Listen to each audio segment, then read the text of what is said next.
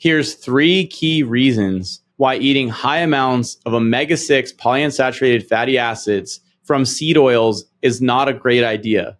Number one, the omega 6 polyunsaturated fatty acids and polyunsaturated fatty acids in general are very fragile fats that are liable to being peroxidized or to being damaged. Number two, omega 6 polyunsaturated fatty acids can be converted into the inflammatory mediators called the eicosanoids via the enzymes like lipoxygenase and cyclooxygenase. So if we want to decrease our inflammation, we want to keep these fats low.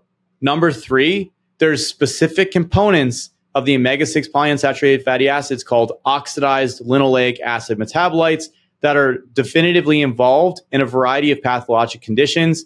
So we want to make sure that we don't have exceptionally high omega 6 polyunsaturated fatty acids inside our diet to minimize these components. And something else to consider is that the requirement for omega 6 polyunsaturated fatty acids in the diet to prevent deficiency is actually very low, somewhere around 1% to 2% of your caloric intake.